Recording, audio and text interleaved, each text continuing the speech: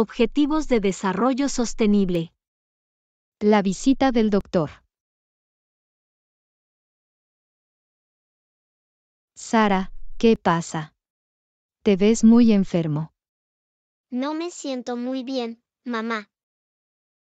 Creo que debemos llevarla al médico. El doctor Lee es un médico muy agradable y puede ayudarlo a sentirse mejor. Está bien, mamá. La señora Johnson lleva a Sara al consultorio del médico. El doctor Lee los saluda calurosamente. Hola, Sara y señora Johnson. ¿Cuál parece ser el problema? Sara se ha sentido enferma. Tiene fiebre y tos. Hmm, parece que Sara tiene un resfriado común. Le daré un medicamento y debería sentirse mejor en poco tiempo. La importancia del agua limpia y el saneamiento. María, ¿por qué tenemos que sacar agua de este arroyo? ¿Por qué no podemos simplemente abrir el grifo como lo hacen en la ciudad? Jack, no tenemos acceso a agua limpia como en la ciudad. Tenemos que obtener nuestra agua del arroyo, y no siempre es segura para beber.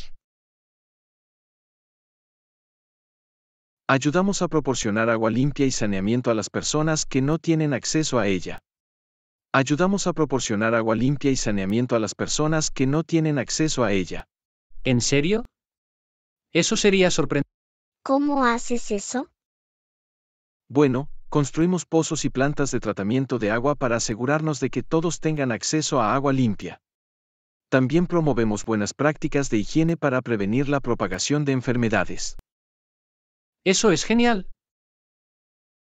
La contaminación y nuestra salud. Mamá, me preocupa la contaminación. Leí en mi libro de ciencia que nos puede enfermar. Eso es verdad, Maya.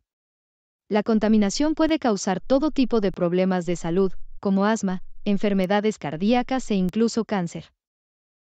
Hola, Maya y mamá. Soy el señor Green y soy un científico que estudia la contaminación. ¿En serio? ¿Puedes contarnos más al respecto? Claro. La contaminación proviene de muchas fuentes diferentes, como automóviles, fábricas e incluso nuestros propios hogares. Necesitamos hacer todo lo posible para reducir la contaminación, para que podamos mantenernos saludables. Así es, Maya. Todos debemos trabajar juntos para asegurarnos de que nuestro aire y agua estén limpios y sean seguros para todos.